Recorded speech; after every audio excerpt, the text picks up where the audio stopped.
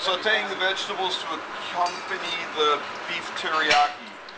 Um, we have mushrooms cut to be easily picked up with chopsticks and convenient to fit in your mouth. We have a mixture of snow peas and bean sprouts. The oil should be extremely hot, smoking. Remove it from the heat just a little bit so that it doesn't flare up.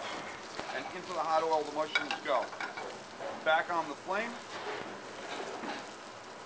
And the idea that we want to achieve is for the mushrooms to get a nice brown color on them, a caramelization. The oil's got to be hot, the pan's got to be hot, so that the mushrooms don't cool the pan down too much. By caramelizing the onion, excuse me, by caramelizing the mushrooms, you get a much deeper, richer flavor, much more umami. This will be important. If you simply sweat them so that they're white, you don't develop as much flavor depth.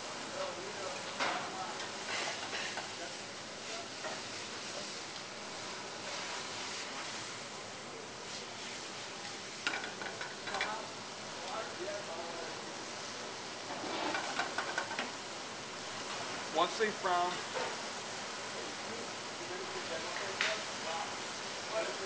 around the edges and on the tops of the caps, and we have a golden brown color.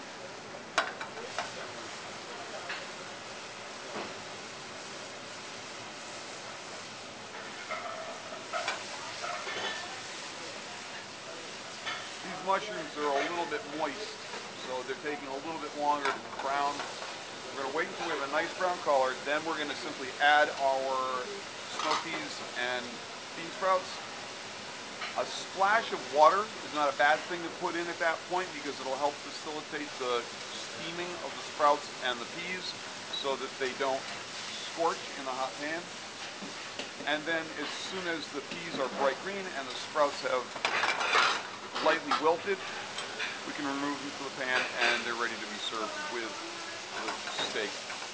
Well, yeah, steak is already more. Stop.